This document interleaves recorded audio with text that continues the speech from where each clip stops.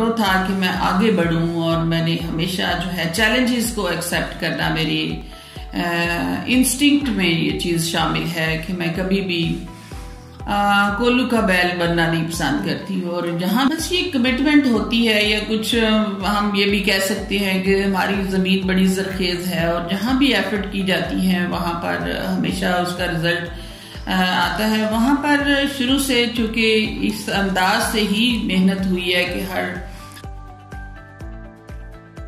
अस्सलाम वालेकुम नाजरीन मैं हूँ आपके साथ जुनैरा बतूल और आज मैं मौजूद हूँ डिस्ट्रिक्ट एजुकेशन ऑफिसर के साथ मैडम कलसूम एहसन बाजवा के साथ। अस्सलाम वालेकुम मैडम कैसी हैं मैडम आप? जी बिल्कुल मैडम सबसे पहले तो मैं आपकी शुक्रगुजार हूँ कि आपने मुझे अपने इतने कीमती वक्त में से टाइम दिया।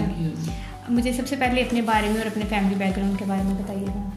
बस मैं आ, मेरी जो पूरे फैमिली है उनका ताल्लुक एजुकेशन डिपार्टमेंट से है। मेरा ताल्लुक ज़िला सियालकोट से है और मैं रोज़ाना की बेस पे यहाँ पर हाजिर होती हूँ टीचर्स की और एजुकेशन डिपार्टमेंट की। खिदमत के लिए हम रोज़ाना में 40 किलोमीटर ट्रैवल करके आने का और 40 किलोमीटर जाने का जो सफ़र है और रोज़ाना की बेस पे मैं यहाँ पर हाजिर होती हूँ। और यही मेरा मिशन है कि एजुकेशन के डिपार्टमेंट में बेहतरी लाई जा सके। ठीक है अपनी अर्ली एजुकेशन के बारे में बताइएगा। मैंने थ्रू आउट रेगुलर पढ़ा है यूनिवर्सिटी के मैं यूनिवर्सिटी पंजाब यूनिवर्सिटी के मैं बेस्ट डिबेटर रही हूँ। मुझे वहाँ पर English debating society Urdu debating society की मैं इंचार्ज भी रही हूँ डिफरेंट अपने इदारों में। और उसमें यह है कि मैंने थ्रू आउट जो है, वो मेरा मास्टर मैंने इंग्लिश में किया है, पंजाब यूनिवर्सिटी से। मास्टर एजुकेशन मैंने किया है एजुकेशन यूनिवर्सिटी से। और उसके बाद जो है, वो एटीन ग्रेड में मैंने डायरेक्ट सिलेक्शन मेरी हुई थी public service Punjab public service commission का। एग्ज़ाम पास किया और इस वक्त मैं नाइनटीन ग्रेड में काम कर रही हूँ। तो आप बाई चॉइस आई थी इस फ़ील्ड में या फिर फैमिली की चॉइस है? नहीं ये मेरा अपना ही मिशन था मेरा मोटो था कि मैं आगे बढ़ूं और मैंने हमेशा जो है चैलेंजेस को एक्सेप्ट करना मेरी इंस्टिंक्ट में ये चीज़ शामिल है कि मैं कभी भी कोल्लू का बैल बनना नहीं पसंद करती और जहाँ भी मेरी जॉब होती थी, मेरा दिल होता था कि मैं आगे बढ़ूँ। और इस वजह से मैंने हमेशा डायरेक्ट सिलेक्शन मेरी हुई है। मैं प्रमोट होकर नहीं आई। मैं यहाँ पर अठारहवें ग्रेड में मेरी डायरेक्ट सिलेक्शन हुई थी।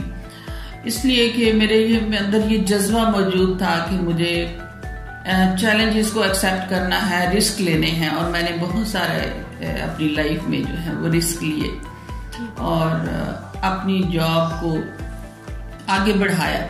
तो आप बीईओ की जॉब कब से कर रही हैं? डिस्ट्रिक्ट एजुकेशन ऑफिसर जो है बिकॉज़ हमने जब मेरे 19 ग्रेड मिला तो उसमें यही सेक्रेटरी साहब ने हमें यही कहा कि आप एडमिनिस्ट्रेटिव पोस्ट पे काम करें।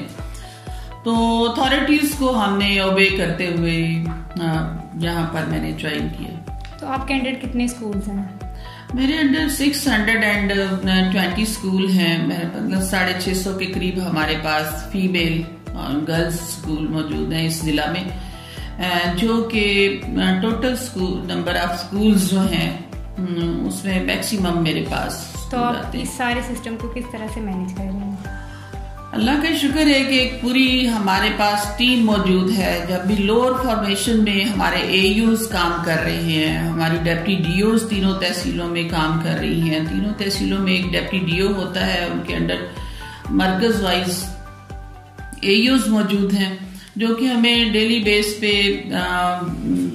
इंफॉर्मेशन भी देते हैं डाटा हम उनसे सारा कलेक्ट करते हैं, वो विज़िट भी करते हैं स्कूल्स में। डेप्टी टीओज डीओज अपनी तहसील को रन कर रही हैं और ओवरऑल डिस्ट्रिक्ट को जो है वो रन करना मेरे मेरी ड्यूटी में शामिल है। ठीक है। तो वो जो शकरगर का लिटरेसी रेट है वो काफ़ी ज़्यादा है। तो इसके बारे में आप क्या कहेंगे? नारवाल की नस्बत भी और पूरी ओवरऑल कंट्री की नस्बत भी।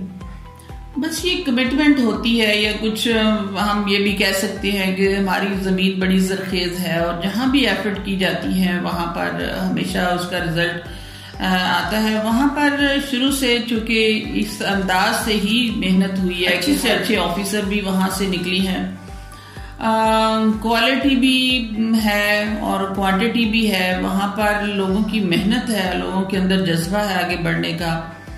और मैं समझती हूँ कि नारवाल की ज़मीन सरजमीन जो है बहुत जरखेज है। बहुत सारे ऑफिसर्स यहाँ से निकले।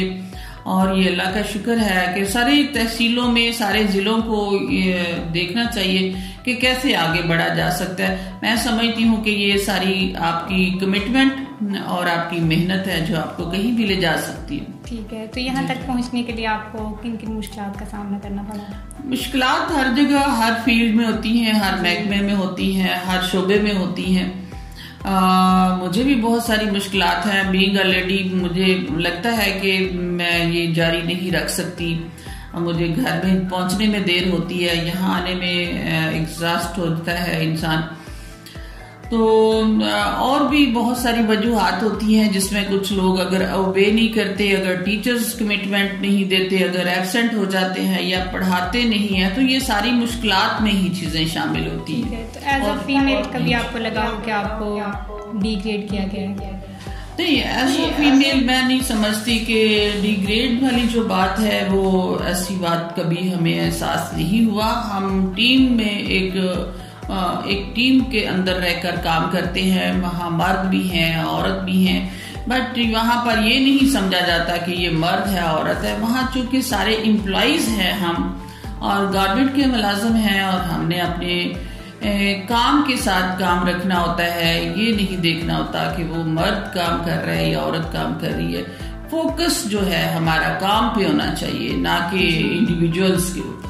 ठीक है। तो आप सोसाइटी को क्या पैगाम देना चाहेंगे खासकर स्टूडेंट्स को? मैं समझती हूँ कि आज के दौर में जो हमारे बच्चे हैं अगर वो बड़ों का कहना मानते हैं या उस्ताद की इज़्ज़त करना सीख जाए तो यही कामयाबी की कुंजी है। और मैं समझती हूँ कि बादब बानसीब बेअदब बेनसीब। तो बच्चों को जो है वो अदब आना चाहिए।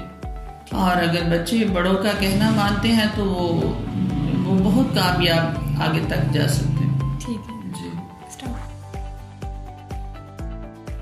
आपको मैडम को सोम से मिलकर कैसा लगा? कमेंट करके ज़रूर बताइएगा। मिलते हैं एक नई इंफॉर्मेटिव वीडियो के साथ।